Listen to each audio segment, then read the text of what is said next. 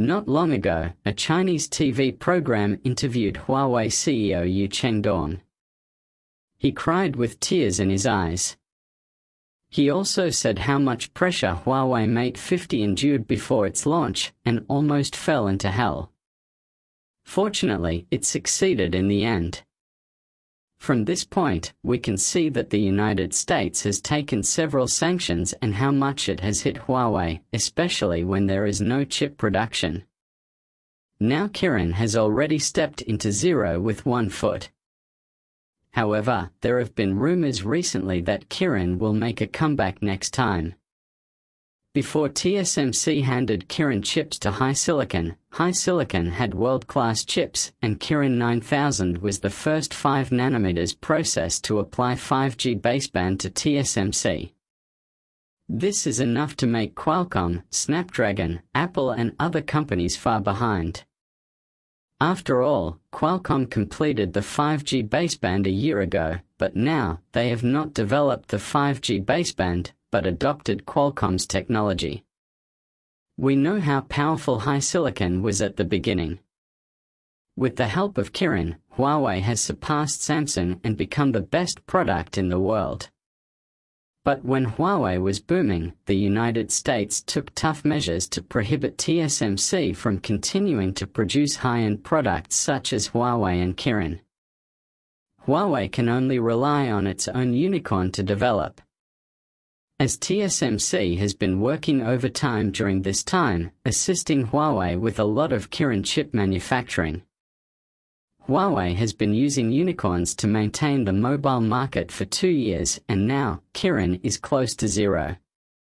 A few days ago, a well-known scientific research organization released a sales statistics of the world's SoC chips in the first quarter of this year.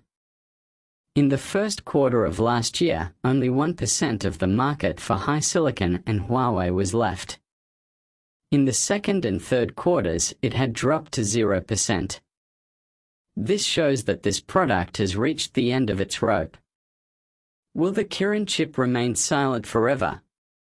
Recently, news about Kirin has been exposed on the internet. A netizen posted a video on the forum, which seems to be a conversation between the author and a Huawei employee, saying that Huawei's Kirin chip will come back next year, but the process is not so good, and the specific production process has not yet been announced. Some netizens asked if the Kirin back this time has a 14 nanometers process. The blogger responded that there should be, but did not say that it will be used on mobile phones. The instigator of this article is not clear because the author of this article once revealed that he had confirmed with a 20 year old Huawei engineer that Kirin's products would be relaunched in a year.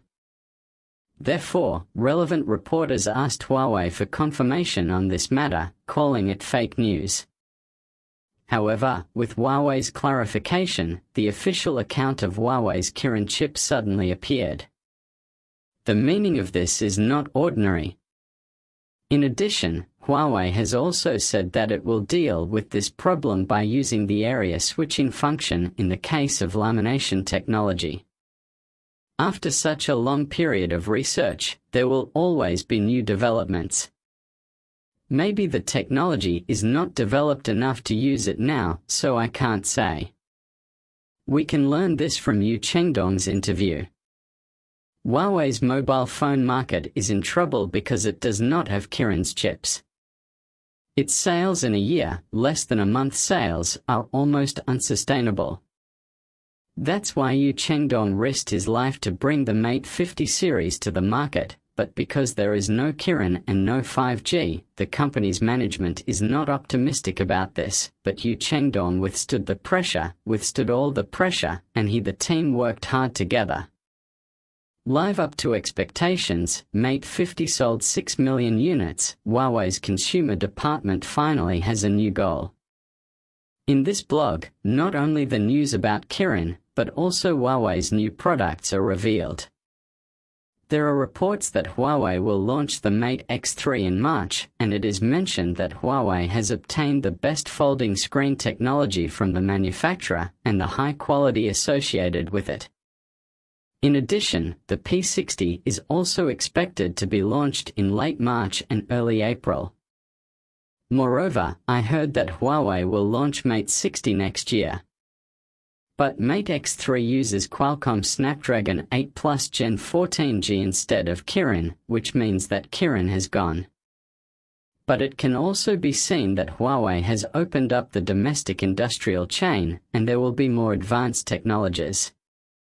Huawei's customer departments have worked so hard, and HiSilicon, a company that makes transistors, can't stop doing it, but the entire Chinese wafer industry still needs to be improved. However, even with the maturity of the 28 nanometers process, 14 nanometers can be manufactured using the stacking method. Huawei participates in chip R&D and design through its silicon Semiconductor department, focusing on basic research and exploring various cutting-edge chip technologies.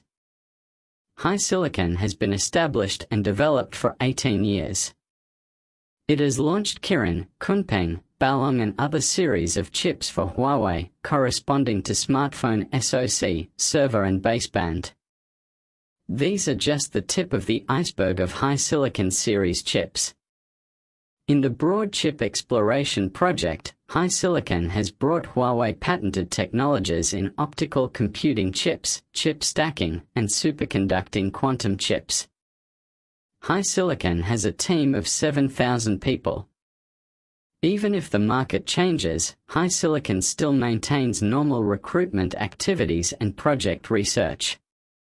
Some foreign media said that Huawei does not need MAXIC because the chip stacking and superconducting quantum chips explored by Huawei are all cutting-edge chip fields for the future, and they do not need the technical support of the United States, and they can also implement related research results.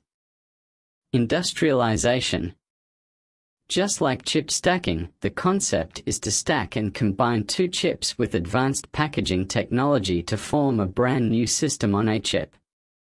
No need for traditional advanced process support, even two mature chips can double the energy efficiency after stacking and combining.